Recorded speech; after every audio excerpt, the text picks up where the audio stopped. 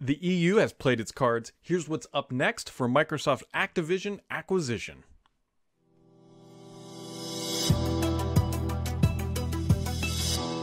I don't really think it'll ever get easier to say Activision acquisition, but that's what we're talking about today. Microsoft's and Xbox's $70 billion new purchase of the gaming giant. Now, the EU has issued its ruling today, and as expected, they're going to go to phase two. Now, this has pretty much been the expectations from day one. First off, Microsoft didn't offer any remedies or concessions leading up to this, and we kind of just figured this is what's going to happen. After all, it's a trillion dollar company trying to spend $70 billion dues to buy a gaming giant. Of course, it's going to be going to phase two.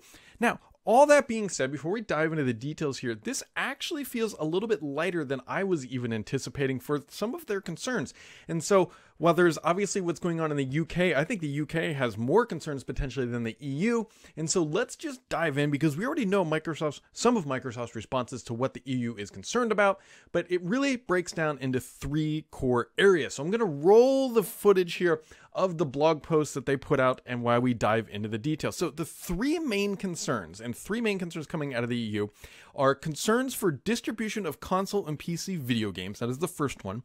Um, multi-game subscription services and or cloud gaming streaming services. That is the second one.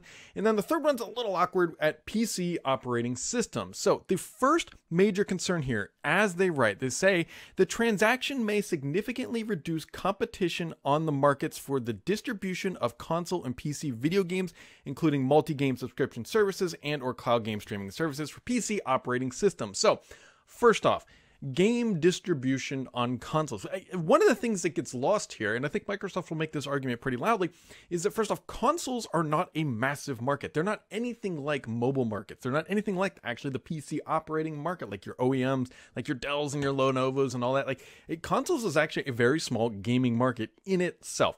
And so the distribution of consoles really just means that, hey, like we're concerned that Microsoft is going to basically shut down Call of Duty and only put it on their consoles. Now, Microsoft has addressed that time and time again. But specifically, they're concerned, uh, the commission is concerned that by acquiring Activision Blizzard, Microsoft may foreclose access to Activision Blizzard's consoles and PC video games, especially to high profile and highly successful games, so called AAA games, such as Call of Duty. So the real key here of this initial argument is that Microsoft's going to snatch up all this IP and then immediately shut off PlayStation. And that is the primary concern. I think from the entire industry, it's Call of Duty being shut off from other platforms, which is why Microsoft has time and time again come out screaming and saying, look, we're not going to pull Call of Duty. Now, they're going to have to put that in writing, and maybe that's what they're waiting for. And then it becomes a contractual obligation because Phil Spencer saying on a podcast, hey, we're not going to pull it from PlayStation doesn't have any merit. It has to be written written in the contract. And so maybe that is going to be one of the remedies that Microsoft will pursue. But realistically, the distribution is little odd because on the PC side specifically, Microsoft is not a big distributor of PC games. I mean, how many times do you go to the Microsoft store to buy your stuff? We know that they're not massive because they put all their stuff on Steam and that's where they get the majority of their sales. And so obviously on the PC side, you have Steam, you also have Epic, you also have other launchers as well. And Microsoft doesn't even really have its own launcher other than the store. And even by that metric, they're pretty far. I think they're they claim they're out of the top 5 when it comes to uh, the PC distribution. So really, it it's focused on the console side, which you could make the argument that there's three primary consoles, right? Nintendo, Sony, and Microsoft. And well, at, uh, of those three, they are in third place. They're the smallest of the console makers, uh, dedicated console makers at this time. So the console side is definitely more valid, but again, it seems like it's on the console side. It's not the distribution, I guess. I guess you can kind of argue that depending on how you look at it. But really, what they're talking about is taking Call of Duty off of PlayStation, which we all know Microsoft does not want to do because it's not the financial incentives are not there. And Microsoft has already made the argument to the UK that says, look, even if we did take all of the, U- the all the Call of Duty players away from PlayStation, they would still be larger than Xbox at the end of the day. So just kind of keep that in mind as Microsoft has already combated some of these arguments. Now, the next challenge area for the EU is when it comes to multi-game subscriptions, basically Game Pass. They and they write, when it comes to multi-game subscription services and or cloud game streaming services in particular, the commission is concerned that by acquiring Activision Blizzard, Microsoft may foreclose access to the detriment of its rivals of console and PC gamers that offer the services to its own PC and console video games, which are key for the provisions of blah, blah, blah, blah, blah. So effectively, it's the same thing as the PC and console distribution. It's like, look, if Microsoft owns Activision, they could cut Call of Duty off from from other vendors. They could potentially pull it from an app store from Apple and, and Google Play and other vendors. But as we already know, Microsoft is infantile when it comes to how big they are in the mobile gaming segment. They're very, very small. And so this argument feels the least substantiated, mostly because, again, it's not so much Microsoft launching its own store, it's more so them pulling Call of Duty from other platforms, at least in how I interpret it. Again, not a lawyer, especially not one in the EU, but reading through this, that's how it logically seems to be. Is that, again, if Microsoft promises that Call of Duty will not be pulled from other platforms and could be available to other vendors, then they very well likely could get this through, get the acquisition through. And Microsoft could make a good, valid argument saying, like, look, we already do this on the PC side. You can buy Forza in Steam. And that is a competing platform at the end of the day. Now, the really interesting sort of one that is outside here a little bit is the PC operating systems argument. The commission, as written, the commission has concerned that the proposed acquisition may reduce competition on the market for PC operating systems. In particular, the Commission is concerned that Microsoft may reduce the ability of rival providers of PC operating systems to compete with Microsoft's operating system Windows.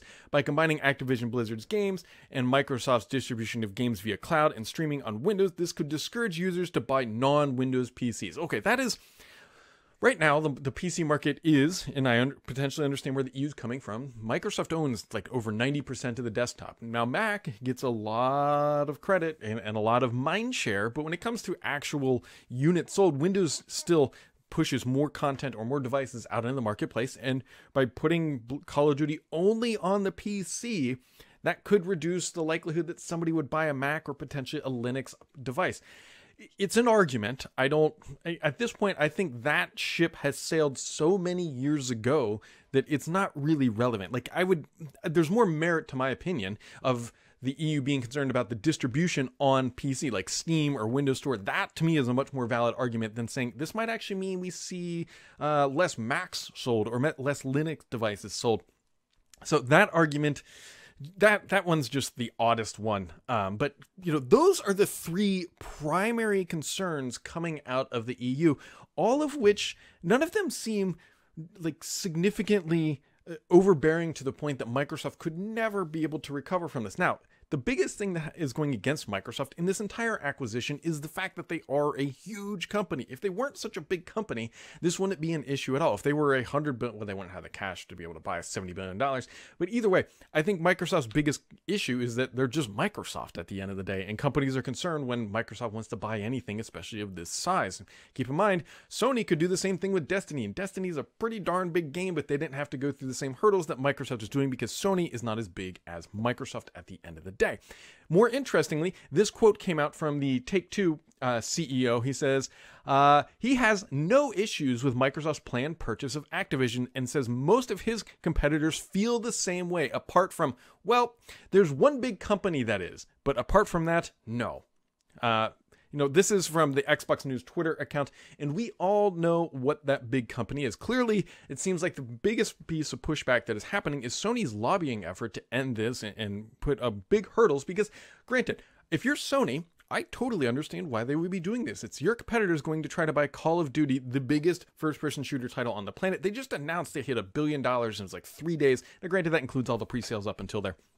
But either way, Sony's looking at this thing like we got to give it all we got because if we don't, if we just fold over and say this is great, then you know that's a disservice to their shareholders, shareholders and to their their fans at that. And so very clearly, Sony is lobbying very hard to get this stopped.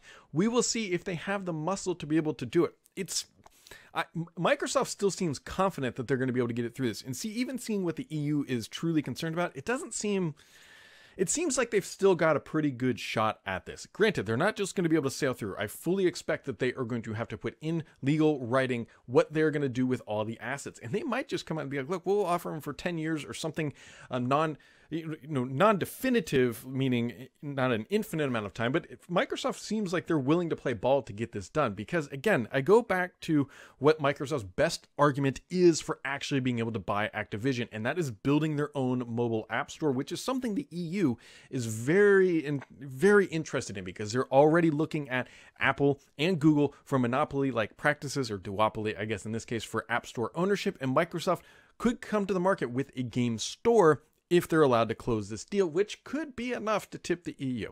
Either way, this is the news we've been waiting to drop. Now, the big question becomes when do they have to make a decision? So the EU has 90 working days. So by the 23rd is a little confusing until March of I believe it's March 23rd of 2023 the EU has to issue a ruling on this. So we've got 90 days and that lines up almost perfectly with Microsoft's initial expectation of June 30th. And so the next big thing we're waiting to drop is the US. So now we've got the EU moving to phase 2. I fully expect the US to do something similar.